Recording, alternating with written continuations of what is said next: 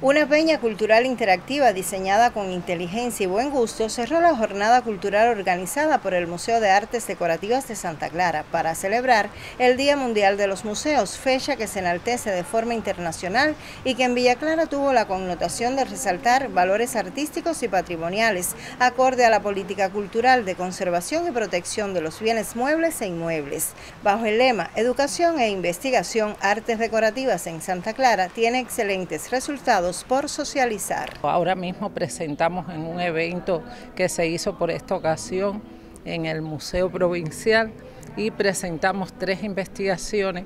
eh, dedicadas al coleccionismo, eh, eh, dedicadas también al arte de los niños y los jóvenes, y una que fue Fortaleza, que es la décima, es un árbol, y el catador rimado, que atrapa ya eh, cientos de piezas investigadas, estudiadas. Y mm, yo diría que en la motivación eh, a esas personas que vienen, que vienen eh, como familia, que vienen por el atractivo de la décima, por el atractivo eh, de, lo que le ofrece el museo en colecciones. La peña de corte tradicional y cuya anfitriona es la músico y médico Marcia Tandrón, sirvió de espacio para inaugurar la muestra dedicada a los muebles, distintiva colección de este museo junto a la labor de especialistas y restauradores. Esta exposición que acabamos de inaugurar eh, la hemos denominado el mueble, ¿no?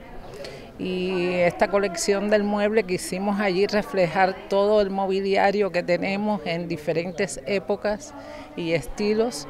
y de verdad que es formidable porque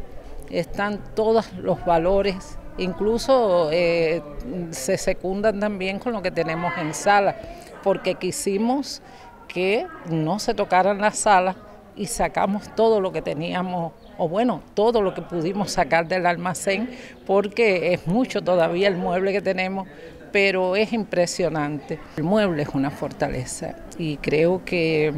el haber elegido esa colección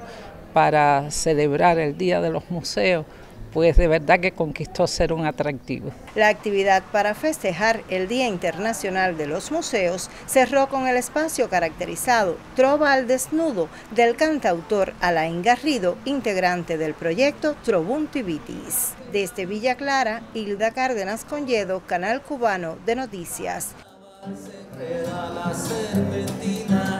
la consagración.